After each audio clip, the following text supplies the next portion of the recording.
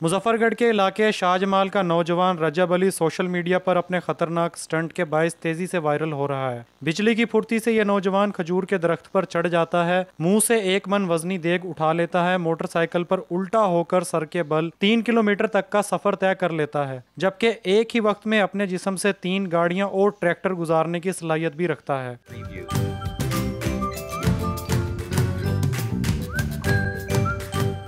रजब अली का कहना है कि इसकी खुराक एक किलो दूध और रोज़ाना वर्जिश ट्रिक्स वीडियो बनाता हूँ लेकिन मेरी कोई सपोर्ट नहीं करता।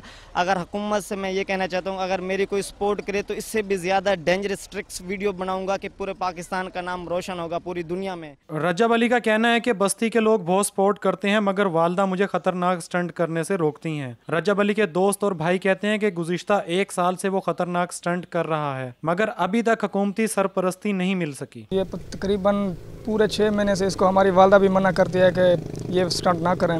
और ये भी फिर ख़तरनाक स्टंट करता है। बगैर किसी सेफ्टी के और हमारी आर्मी चीफ से दरख्वास्त है और हुकूमत से भी दरख्वास्त है कि इसे अच्छा कोई अहदा मिल जाए या कोई जॉब वगैरह मिल जाए ताकि हमें इसे इसकी दिली ख्वाहिशात पूरी हो सके। खतरनाक स्टंट में महारत रखने वाला ये नौजवान, जब घर से बाहर निकलता है तो लोग इसकी तरफ़ मुतवजा होते हैं और इसके साथ सेल्फीज भी बनाते हैं। रजब अली का कहना है कि अगर हुकूमत इसे सपोर्ट करे तो वो पाकिस्तान का नाम पूरी दुनिया में रोशन कर सकता है।